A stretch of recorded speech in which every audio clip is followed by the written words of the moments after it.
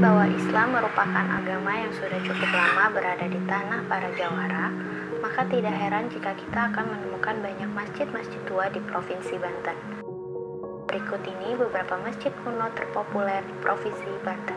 Terima kasih sudah klik video ini. Tapi jangan lupa guys klik tombol subscribe karena klik tombol subscribe itu gratis gratis dengan subscribe kamu support channel ini untuk upload video setiap hari. Masjid Agung Banten berdiri sejak tahun 1569 merupakan salah satu peninggalan sejarah Kesultanan Banten, yakni Sultan Maulana Hasanuddin yang merupakan putra pertama dari Sunan Gunung Jati.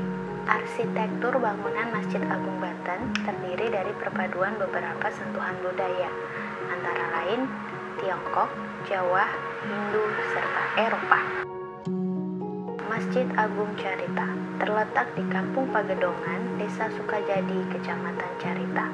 Terletak kurang lebih 51 km ke arah barat dari kota Pandeglang. Masjid Carita dibangun pasca meletusnya Gunung Krakatau.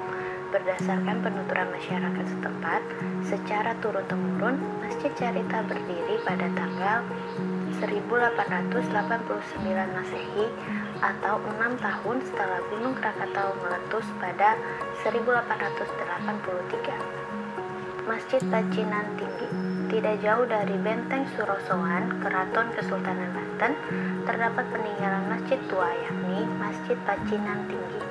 Dahulu masjid ini dibangun untuk orang-orang Cina atau etnis Tionghoa Muslim. Pada masa Kesultanan Banten, berbeda dengan Masjid Banten Lama yang hingga kini masih dapat digunakan.